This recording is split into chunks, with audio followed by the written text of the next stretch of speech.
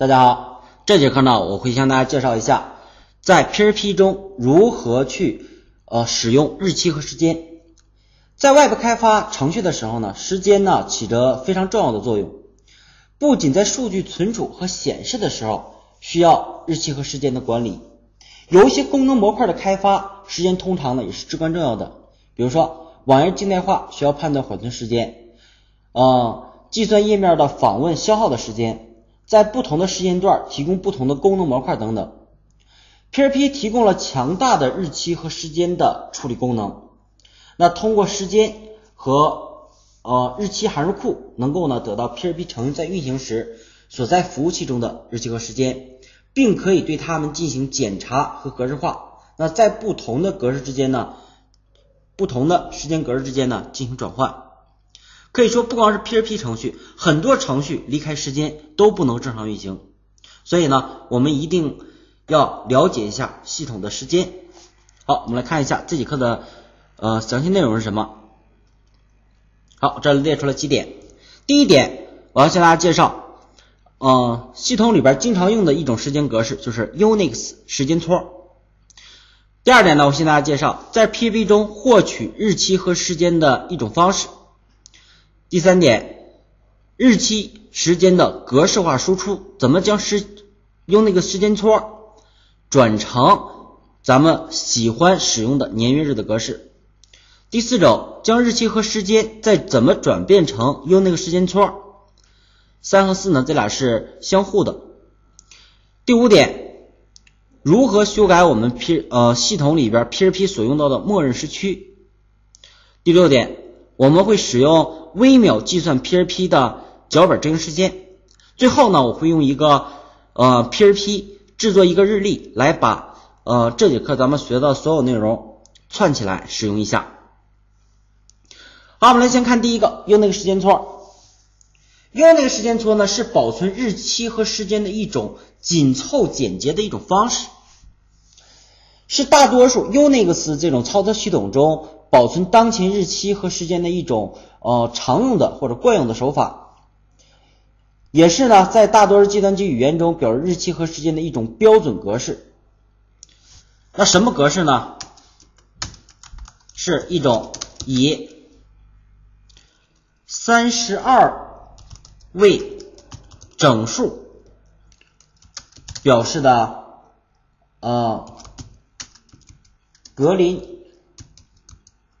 威治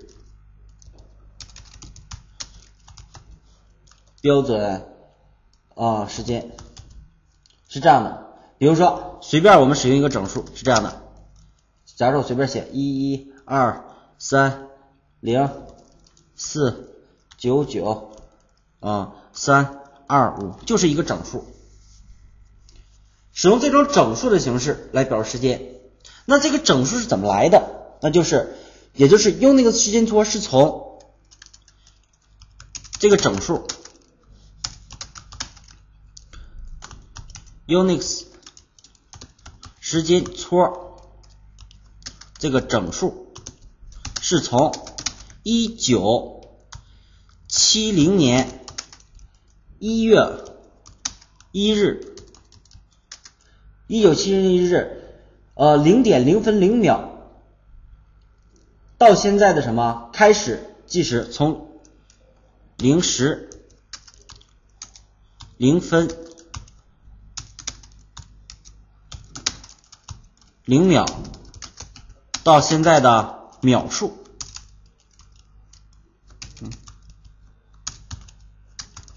是这样的一个整数，也就是每隔一秒这个值就会增大一下。那一九七零年一月一日。零点，那作为所有计算机的基础，那这个日期呢，也通常称为 Unix 元年，这个日期或者叫做计算机元年。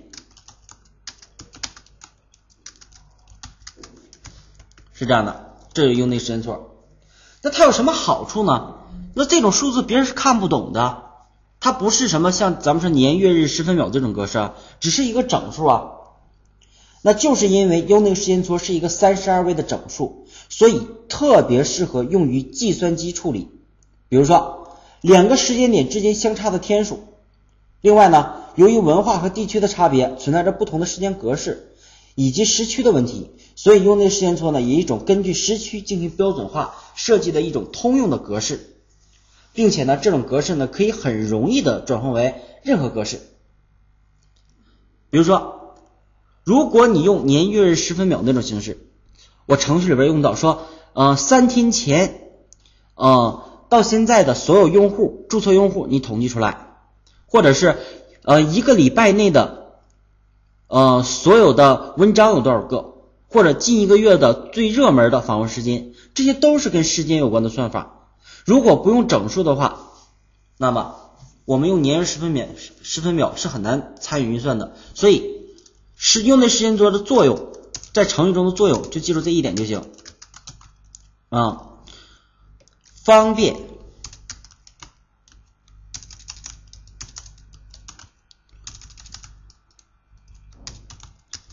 我们计算使用，这是它的作用，主要目的就是可以参与运算。用的是，因为它是一个整数，所以呢。可以参与运算，这是它最主要的功能。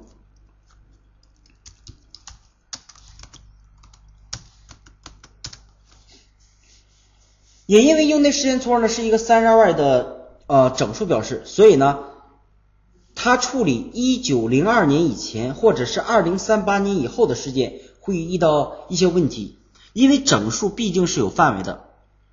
整数毕竟是范有范围的，所以呢，我们处理的时间通常在一九零二年呃到二零三八年之间，通常是有效的，因为它这是在整数范围内。然后因为是计算机元年呢，是从一九七零年以后有的秒的，所以呢，看这个，因为在另外呢，也是因为 Windows 下时间戳呢不能为负数。如果使用 PHP 中提供的时间戳呢，函数处理一九七零年以前的时间呢，也会犯上错误。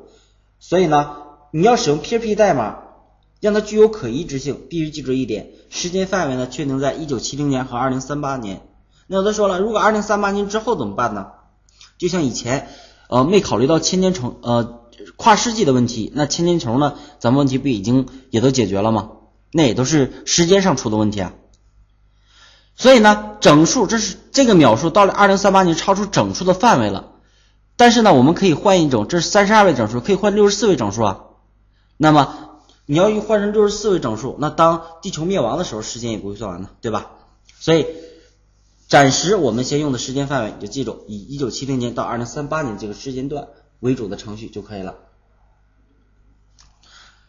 好，我们看一下这个如何在 PHP 中。获取日期和时间，我们就需要打开 PHP 手册。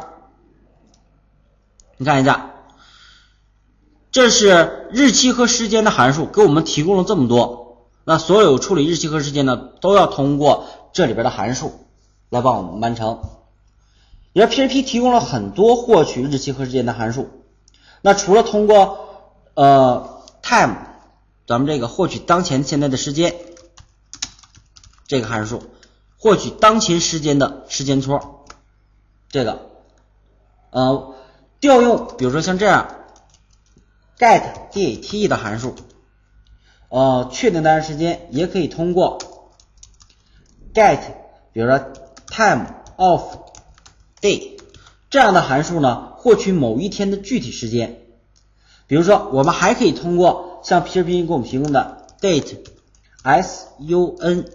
R I S E 还有 D A T E date 下面 S U N S E T 通过这两个函数呢，我们还可以干嘛呀？还获取你所在的地区，就是某个地区日出和日落的时间都可以获取到。所以呢，在 PHP 里边给我们提供获取时间的函数呢，还是很丰富的。在这里边，当然这里每个函数有嗯各自的用法。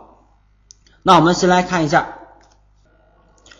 time 函数的应用，这个很简单的，也是咱们在程序中经常使用的，比如说文件的添加时间呐，或者什么，它就是一个整数，dollar for int 等于 time，获取这个当前的时间，我只要输出 dollar for int，你看一下，就是一个用那个时间戳。我们来访问一下这个，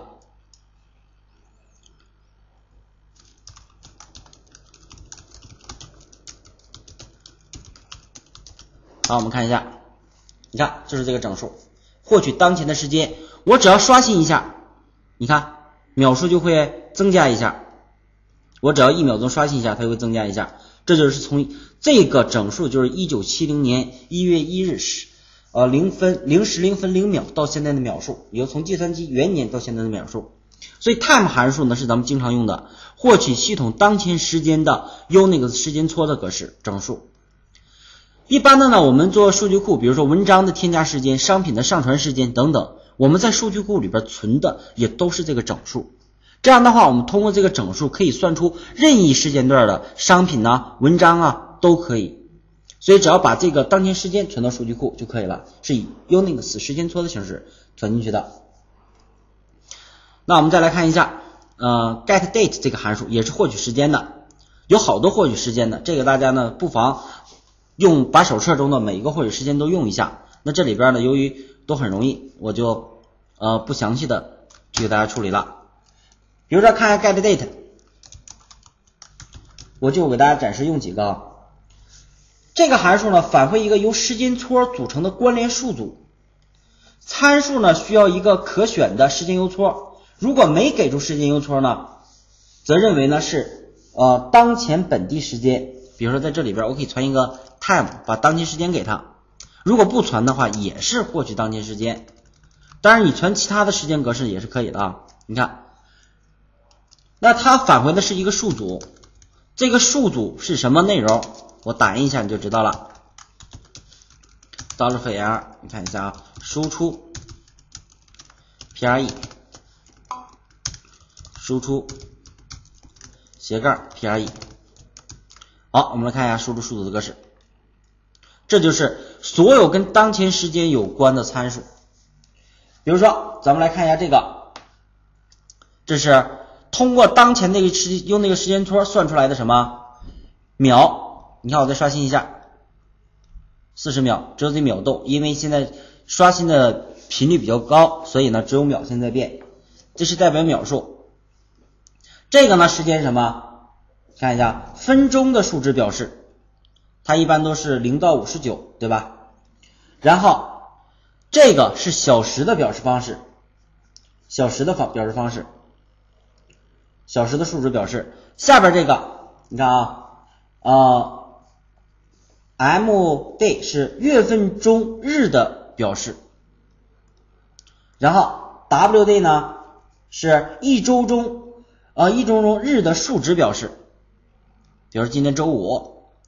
那呃，M O N 呢是月份的数值表示，这个呢当然是年份的数值表示，对吧？然后呃，这个呢是 Y day 呢这是什么？一年呃是表示呃一年中日的数值偏移，比如说今年三百六十五天嘛，现在已经是三百一十五天了。这个是一周中日的完整文本表示，比如说今天是周五。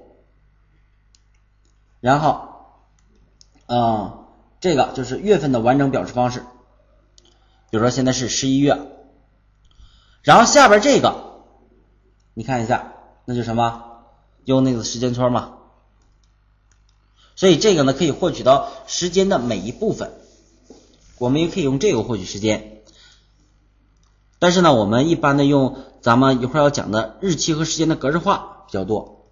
所以呢，在 P P 中获取当前的时间方法呢，我给大家介绍两个 get 和 date。像我这里边获得其他方法呢，呃，你再通过手册按照这方法去学习一下就可以了。那我们来看一下，呃，日期和时间的格式化输出。因为咱们说了，有了这个时间整数，对于我们程序运算就够用了。但是呢，这种格式，比如说 time。这种格式，你让用户如果在页面上显示，比如说文章的上传时间或者商品的添加时间，那用户是看不懂这种格式的，所以咱们其他的时候咱们都用这个整数，只有显示给用户的时候，要以一种咱们常见的时间格式输出就可以了。也就是当日期和时间需要保存或计算机的时候呢，我们通常使用用那个时间戳作为一种标准格式。那这样呢，可以作为一条呃重要的规则。但用的时间戳格式呢，可读性呢，当然它是比较差的。所以呢，把时间戳格式化为可读性更好的日期和时间，或格式化为其他软件需要的格式。那在 PHP 中呢，我们就可以使用这个函数。通常你也不用太多，会一个就可以了。Date 函数。来格式化一个本地时间和日期。那这个函数的原型是这样的：第一个参数需要一个字符串，用来什么？将日期格式化成什么字符串？第二个呢，需要一个 time 时间邮戳。当然，这个时间邮戳是可选的。所以呢，如果不传第二参数，那就是当前的时间转成什么什么格式。比如说，你看啊。呃，输出 date 格式化，我通常用的格式化就这样：年杠月杠日时分秒。这个所有有这几个特定字母的地方，就会从后边这个时间里边把年取出来，放在这儿，然后加一个杠，然后把月取出来，把日取出来，十分秒取出来，这就是。取出当前的时间，当然，如果我不传这个参数，我就直接写年、月、日、时、分、秒。你看一下，也是获取当前的时间。如果我随便传一个值，你看啊，年、月、日、时、分、秒。比如说，从数据库里边这个文章不取当前时间，我把系统里边，比如说一年前的文章传进去，那个时时间用错读出来也转成输出也是可以的。所以你可以任意指定一个时间，比如说刚才咱们这块随便写了一个时间，看这个时间是多少，我也是随便写的，不知道这个时间是什么时候，那我把它放到这儿来，是一个整数，我也不用加字符串之类的东西，当然是字符串也没关系。你看一下，输出一下。你看这个地方，那就是二零一零年十一月十二日，今天七点三十八分四十二秒。二零一一年十二月十一月十二日七点三十分四十二秒，都是获取当前时间。这块是我随便传的一个整数，那你看到我传的一个整数是一九一七年七月二十九号，然后是十九分，呃，四十三呃十九时四十三分五十七秒。当然，这个秒数，假如说我可以无限的增加，假如说我把这个值。改成八，那你再看一下，只要不超过整数范围内。那假如说前面只有再大点，假如是一个九，你看一下，那是一九呃三九年了，对吧？所以呢，虽然咱这一九三九年低于了一九七零年，但是他说了，在 Windows 一些呃操作系统里边的时间呢，只是一九七零年之前的呃之后的有效。所以呢，时间咱们尽量别写这么低的，这是我随意写的整数，可以把它转换成任意的时间格式。那咱就看一下 date 函数里边的参数，你看找一下 date，看这个格式化日期，我刚才写的可以转成任意格式，比如说写 d 这种，就是月份中第几天有前导零的两位数字，你看。前导零就是在零，假如说是一位数的时候，前面加个零，这叫前导零。大地呢是星期中第几天，对吧？然后接月份中的第几天，没有前导零的，你就按这些字母可以组合成任意的时间格式，所有时间单位在这个时间戳里边都可以算出来，因为它就是一个算法。比如说当前这个秒数，你自己也可以算得出来，怎么算呢？想象一下，当前这一秒数。除以六十，那就变成什么？到现在的小时啊，不到现在的分钟啊，再除以六十，就是到什么？到现在的小时啊，再除以二十四，到现在的天数啊。再除以什么？呃，三百六十五就到现在的除以十二到现在的年，假如三十到现在的呃月数，再除以什么？除以三百六十五到现在的年数。也总之通过这个秒数时间的任何需要的部分都可以获取到。那只要你干嘛？在这里边找到你想格式化输出的，比如说我常用的格式就是年月日，使用这几个字母都是这里边能找到的。Y 代表年，M 日，时分秒就可以了。这就是如何将日期格式化输出，使用的是啊 date 函数，我写这个写错了啊，输出。所以这个目的格式化输出，也就是将时间邮戳的格式，目的就是将时间戳的格式，戳的格式。转为了啊用户可以读得懂的，我们转成我们可以读懂的时间和日期格式。我直接写了。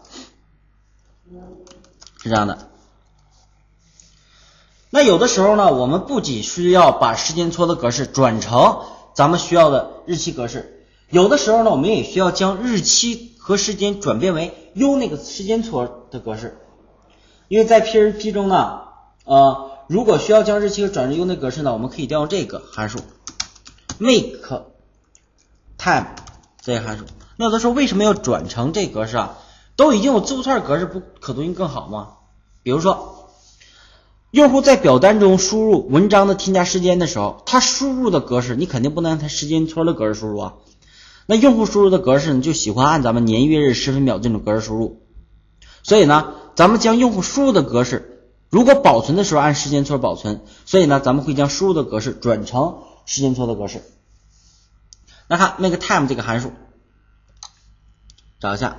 以 M 开头的这个，你看这里边参数需要传递，第一个是按顺序，不要传错了，小时、分、秒，然后月、日、年这种格式，也就是这个函数中所有参数都可选的。如果参数为空，那么默认的将当前的时间转换为用那个时间戳。那这个呢？当前时间转用的是说，咱们也可以看到 time 对吧？或者是 get date 这两个呢，都可以获取当前时间变成邮件戳。那这样呢，咱们就和呃 time 取的函数呢，用那次时间功能相同了。所以 make time 你所有参数都不穿的话，有可能跟 time 时间功能相同的了，对吧？那参数呢，也可以从右向左省略，任何省略的参数。都会被设置为本地的日期和时间的当前值。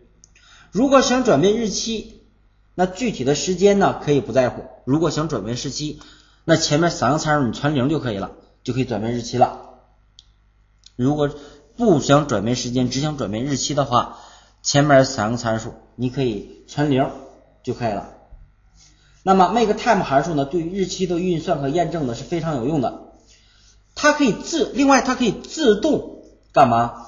自动矫正越界的输入。比如说，什么叫越界的输入？假如说，呃，小时分秒，那比如说，呃，小时，小时呢，一般咱都二十四小时制的，或者十二小时制的，对吧？那你输入五十小时，那它会自动矫正。像月份最高是十二月，那你输入十八月，它也会自动矫正。来，我们通过实验来验证一下。当然了，它是将这个转成用的时间格式，咱们不好判断。那我还是用这个函数，我只要把 make time 这个时间，我任意的时间转下就行了。这不存 time 了，我随便传一个 make time 这种格式，复制几份。如果我直接就是因为它不转成时间戳，时间戳又格式化了吗？如果我直接让你转成时间做输出，那是一个整数，你看不懂，所以咱们正好用 date 函数把它转成一个格式之后再看。你看啊，假如说我直接输出 make time，你看这种格式你能看懂吗？边前两个输出，你看前两个输出是不是都是用的时间戳？你看这个是下边输出的，是不是转换格式之后才能看懂啊？所以咱们用个 make time 转完之后，咱们转成年月日时分秒的格式再输出。那默认它就是当前时间，比如说这个，呃，我默认只存，呃，先是，呃，小时十二点三十分四十四秒，你看一下，十二点三十分四十四秒，只转这个了，别的没动，对吧？那如果我存更多的，比如说是，如果前边日期我想忽略，不想转，我只想转月日年。比如说啊，是八月啊十二日，二零零二年。你看下，这个转的。第二个，二零零二年八月十二日零分零秒零零分，因为我前面是不是忽略了？只要月日年的这种格式，小时这个呃时间忽略。那再看这个。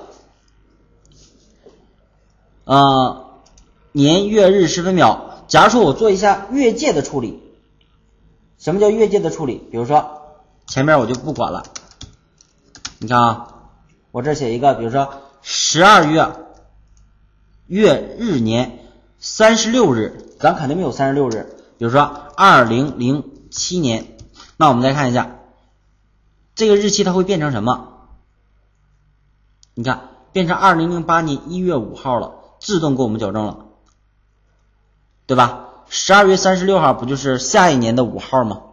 它会自动矫正。再比如说，啊，比如说我还转一个日期，假如说一月呃一日，二零零九年，这个是呃没问题的格式，正常的格式啊。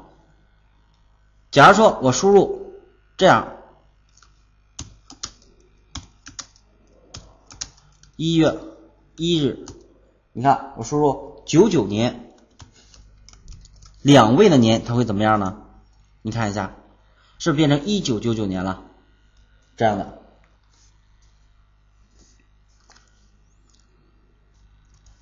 好，我们接着来看一下，这是获取用那个时间戳的方式，我保存一下。Make time 点 pp，来，咱们既然说这些都涉及到用那个时间戳，那用那个时间戳呢最适合计算用，所以呢，咱们写一个在 pp 中计算两个日期之间的相隔的长度。那么最简单方法就是通过计算两个用的时间戳之差来获得。比如说，呃，在 pp 脚本中，呃，来接收来自 RTM 表单中用户提交的出生日期。那么计算这个，根据这个出生日期来计算用户的年龄。那比如说表单里边，假如说我就不写表单了，我就直接在这写，在这块儿，你看问号，我这写个出生日期啊，出生日期我们可以用 birthday，b r，嗯，b i r，啊 d a y，你看，呃 b i r t h d a y，birthday。那用户喜欢的格式呢？那肯定是，比如说二零一零年，啊十月，比如说呃，假如说二零零零零后，二零零二年十月十日，你看一下，我获取这个值之后，我我把它得转成什么？如果想参与计算呢，我得把它转成 make time 这种格式。你看怎么转啊？你看一下，我得先把这个年月日时分秒，如果输入这种格式提出来，用 list 就可以了，等于这 list 咱前面介绍过，等于用 explode 这种分割，用什么分割啊？用杠将谁分割？参数传过来的 get 里边的，比如说 birthday birthday 提出来。然后这里边提出来，分别提出来，y e，呃，y e a r 年，刀了符，啊，m o n t h 月，刀了符，啊，d y 日，你看一下，然后我们不将它转成什么？转成这种格式，我们该怎么转呢？月日年这块存谁啊？M O N T H 月日呢？d y 年 dollar Y E R，你看就可以转成这种格式。刷新一下，你看二零一零年十一月十二日，哎，怎么转成了当前的格式？看一下啊，get 里边的哦，刷新回车一下，没获取到吗？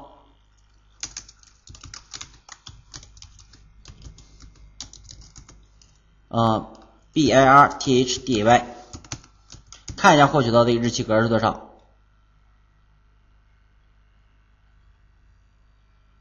二零二年十月十日，对啊。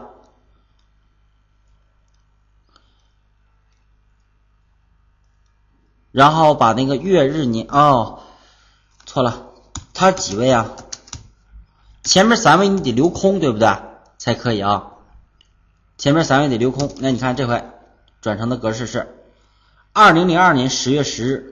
那比如说，比如输入我的生日一九八一杠幺幺杠零五八一零五。那好，有了这个日期，那我怎么计算呢？怎么计算呢？比如说我这块我就不这么转了，你看我这就直接写计算了，就很方便了。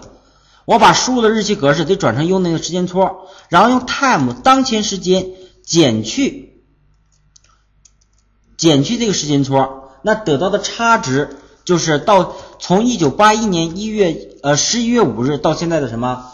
到现在的。呃，秒数，这就是年龄的用那个时间戳到现在的。然后呢，我把这个秒数，我给它除以什么？比如说，我直接从那秒数里边获取，呃，获取年呢不太好办。假如说我除以用得到的年数用那个词时间戳，你看参与计算吗？除以六十，这是秒。再乘以六十，这是什么？这是一分钟。再乘以二十四，这是什么？这是一天。再乘以三百六十五，这是一年。所以用当前这个秒数除以一年的秒数就是多少年了？所以得到的就是什么？得到的就是 A G E 年龄。所以我就可以输出我的年龄，输出我的，呃。年龄为多少？连接一下到了斐济就可以了。你看，这就是一种计算的方式。输出一下。哦，不会吧？看哪错了？用当前的时间减去啊，make time 计算完的这个时间邮戳，用那个时间戳，然后用除以获取时间的乘减去除以这个，没问题啊。我输出一下啊，到了符。age Unix 啊，ag 啊，这写错了，un 错在这儿了啊，等一下，你看二十九岁，当然了，咱们要取整就可以了，你不用说把那个小数给别人，所以呢，我获取到之后取整，我可以用数学函数里边，比如说 floor 用这个取整一下就可以了。把它年龄输出之前，或者是用之前，那二十九就可以了。这就是呃通过时间戳进行计算。当然了，我这只是写一种计算的形式。那以后你在用到时间的时候，经常涉及到这种时间戳之间转换呃计算，这就是咱们用的时间的呃最主要的一个功能。保存一下，比如这里边咱们用的是计算啊年龄的，哎叫 age 点 php。好，我们再看下一个问题，修改 php 的默认时区。那比如说现在我把这个当前的年月日时分秒，我给它获取出来，dat 我输出一下，dat 输出一下当前的时间，我第二参数不传年杠月日。时分秒，你看现在的日期是多少？是二零一零年十一月十二日七点五十六分三十一秒。但是我现在系统的时间是多少啊？是二零一零年十呃十一月十二日星期五十五点五十六分。现在差在什么了？一个是十五点，一个七点。现在的时间比我输入的时间呢快了八个小时。那这是怎么回事呢？因为程序不光是咱们中国人用，是全世界人都在用这个 PHP，所以 PHP 呃出来之后呢，它不能说按你。嗯，各个时区出一套，所以它就用标准的时区。那标准时区呢，就是呃 UTC 的呃原先也称为格林日志呃标准时间，也就 GMT 这种，就是呃都是由英国伦敦的北京时间相同的默认时区。咱们这边呢时区呢，中国的时区正好在英国伦敦东边八个时区，也叫东八区，所以差八个小时。那在以前里边呢？在以前呢，我们设置时区呢都是现在的时间加八个小取出的时间加八个小时就是现在的时区了。但是现在我们可以在 PHP 的配置文件中，在 PHP 配置文件中通过你看啊这个属性，在 PHP 点 ini 中通过这个属性就可以设置时区，叫 date 点 timezone 等于时区。在配置文件里，通过这个呃，通过这个选项，但是咱们尽量别改 PHP 配置文件。那有可能你这里边配置文件改了，但是你的程序如果将来给用户用户的那个环境下没改，那有可能你系统的时区就会呃时间就会出错。时间出错呢，比如说明明是昨天呃今天添加的一篇文章，那里边就会显示昨天添加的，对吧？这是因为时间有错误啊。所以呢，咱们可以用一个函数来设置时区。可以用加八的那种形式按以前，那这里设置时区可以按什么？日期缺省的时区设置。当然这个呢得在 PHP 五版本以上才能使用，所以呢在 PHP 四版本之前呢使用这函数呢会出错。那这个函数里边传一个就是时区的一个什么？呃，一个标识符。好，我先把这个。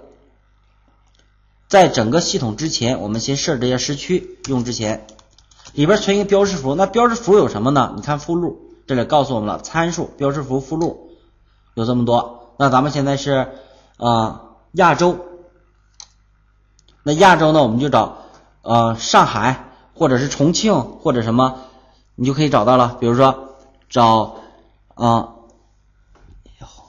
呃这是亚洲的香港，对吧？找亚洲的上海，好，亚洲的上海，看到这个了吗？可以存这个值，只要我在这块存这个时区，是一个字符串，你看就可以了，对吧？现在是呃十五点五十九分五十五秒。那不光是存这个亚洲上海，我们还可以存什么？这里边值我们可以存很多个啊，还可以存，比如说呃。亚洲重庆啊，或者是 ETC 这个标的时间，比如说 GMT 减八东八区嘛，可以存这个，或者是中华人民共和国的缩写，比如说 PRC 都可以。比如我喜欢写这三个字母，因为它省事儿。你看，还是下午四点了，不是早上了，对吧？八小时都拿回来了，这就是。时区里边需要存进的值，所以可以存刚才咱说的亚洲上海啊、PRC 啊、中华人民共和国呀，或者存 GTC GET 八东八区，对吧？等等，或者是亚洲重庆都可以修改 PHP 的呃默认时区。所以呢，咱们在在做项目的时候，PHP 程序最嗯。也就是每个文件最好的设置这个，当然咱不用每个文件了，就是公共的包含文件里边设置这个，那就会将每一个 PP 脚本都设置成这个时区，这样用时间呢就不会错了。另外呢，咱们做服务器的时候呢，最好要每半个小时让服务器的时间跟国家标准的时间服务器同步一次才可以。所以呢，时间要保证服务器的时间完全准准确，但是时区呢，咱们要。准确一点就可以了。来，我们看一下使用微秒计算 PRP 脚本的执行时间，怎么做？在 PRP 中呢，大多数时间格式呢，咱说了都是以 Unix 的时间戳表示，而 Unix 时间戳呢是以秒为最小的计数单位的。那这对某些应用程序来说呢不够精确，所以呢可以调用咱们系统里边有一个 PRP 里边给我们提供一个函数，叫做 make time。使用这个函数返回当前 Unix 时间戳和微秒数，不仅返回时间戳，还能返回它现在的微秒数。这个函数，那可以为这个函数呢提供一个布尔型参数。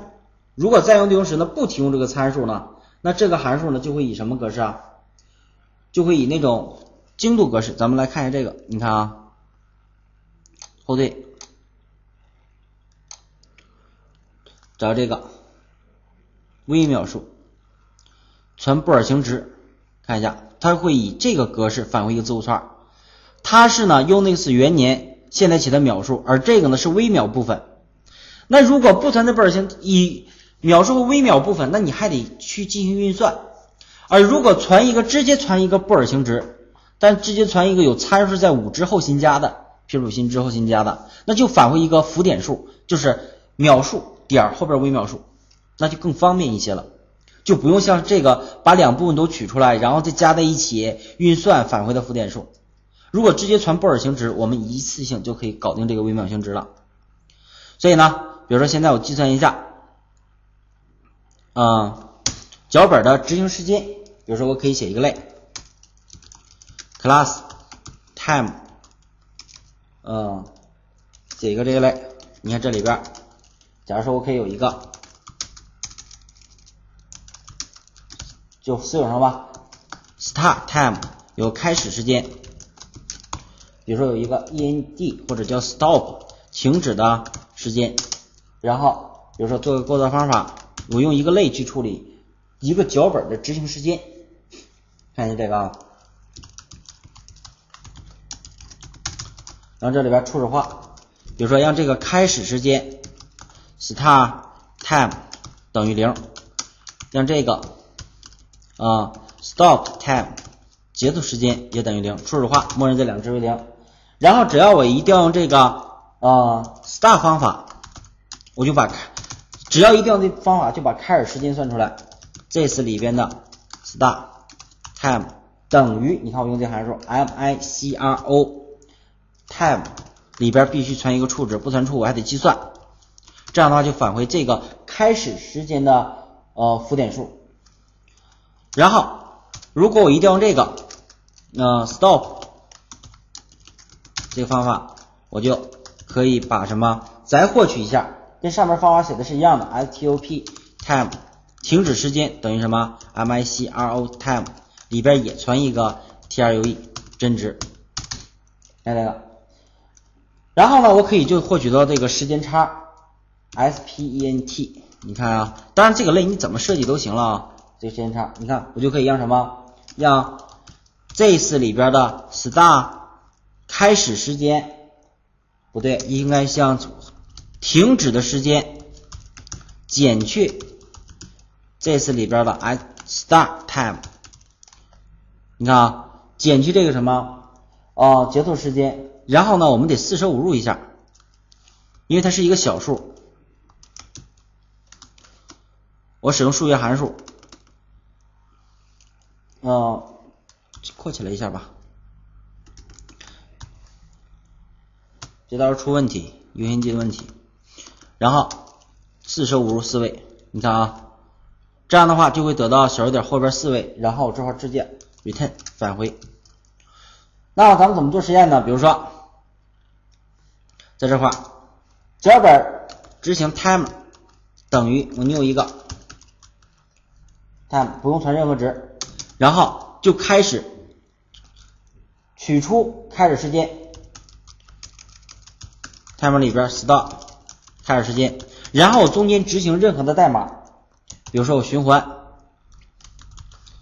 循环，嗯，DollarFi 等于 0，DollarFi 小于 DollarFi 加加。但是空循环，什么也不做，那就是一个循环一万次。然后我用嗯 time 里边的 stop 停止这个函数，所以呢，一开始调用开始时间就会把时间复制，然后调用停止时间就怎么了？停止时间获取到了，然后停止之后我就可以直接计算谁了？直接输出呃脚本执行时间，那就是直接。嗯，比如说是 time s p e n t，你看咱们能不能输去输入到大概执行多长时间？哦，有一个错误在八十二行，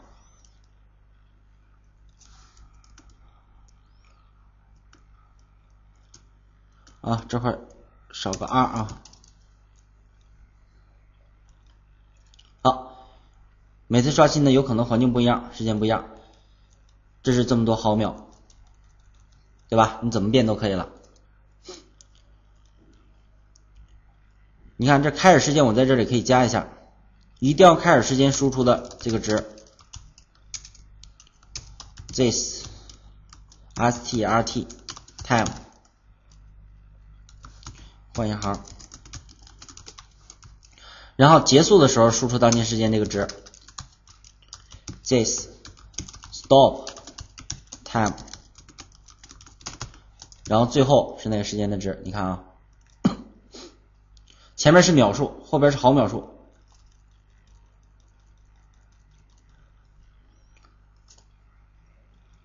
当然这个超出那个呃输出的那个范围啊。好，这就是呃计算的一个结果，计算微秒数。比如说我给你看一下。咱们后期呢那个 CMS 项目，就是细说 PHP 最后一章的项目，你看一下，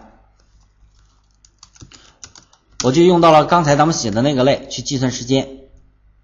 你看这块零点七幺八秒，基本设置为一点击零点零七二秒。那有的说了。